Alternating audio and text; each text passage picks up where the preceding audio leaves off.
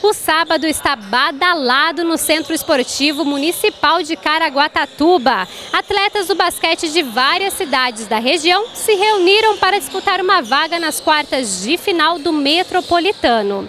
O time de Caraguá também disputa a fase de classificação e espera levar mais uma vitória para casa. A expectativa para o jogo era grande, afinal, para a região é um clássico, Caraguá contra São Sebastião. Nós jogamos seis vezes o campeonato, ganhamos cinco e a nossa briga sempre foi trazer um jogo aqui para Caraguá, para presentear a nossa torcida. A população de Caraguá vive o basquetebol, gosta do basquetebol. Então a expectativa é muito grande, né? É, é do espetáculo, a casa está começando a encher né? Tem os meninos da base prestigiando, os pais. Então a ideia é, é assim, o resultado em si, lógico que vai importar, mas o resultado é essa casa cheia, essa criançada assistindo o jogo, que eles são futuros jogadores de basquete de Caraguá. Depois de um bom tempo de jogar em casa, né? Tá jogando com a nossa torcida, perto dos nossos familiares.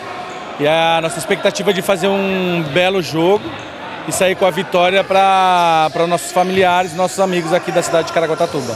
Claro que os familiares não ficariam de fora, marcaram presença para prestigiar os atletas. Nós temos um time bastante entrosado, que joga tempo há muitos anos.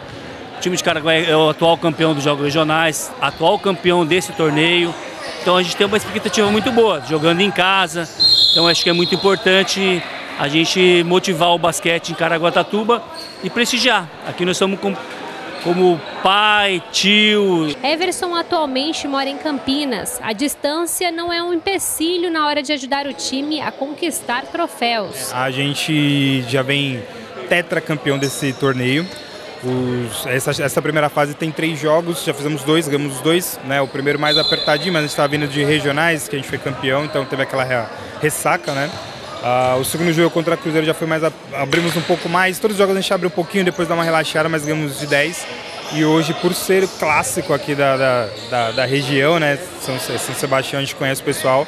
Acho que vai ser um jogo bem duro, um time bem físico. Né? Dado a largada, que comece o jogo. Os caraguatatubenses vibravam a cada lance. Corre em direção ao adversário, arremessa e cesta. Caraguá começa a disparar na frente.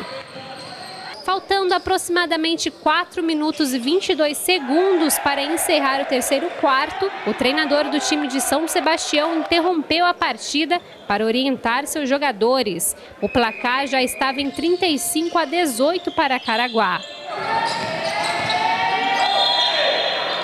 Fim de jogo no Centro Esportivo Municipal, placar 62 a 38, para o orgulho do treinador.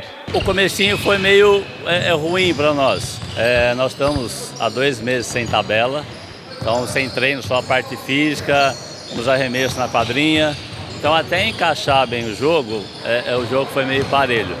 Aí depois conseguimos encaixar, o pessoal centrado, a bola começou a cair, ajustamos uma defesa, uma peça ou outra aí conseguimos achar o nosso jogo. Rafael foi o cestinha da noite e Paulo não teve medo em fazer os bloqueios para a bola não passar pela cesta e marcar ponto para o adversário. A torcida empurrando a gente, né? O começo foi meio complicado, mas depois a bola começou a cair.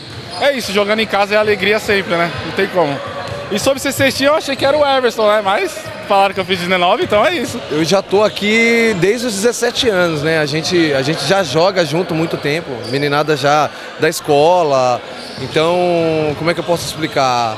É sempre bom vestir a camisa da cidade, né? Teve alguns que saíram para jogar fora como neto, eu também, fiquei até os 22 anos fora, aí volta, aí é casado, os filhos estão vendo agora, então ter os amigos, a família assistindo, vir aqui representar a cidade é show de bola. Muita alegria e comemoração. Agora é se preparar para as quartas de final que começam em outubro.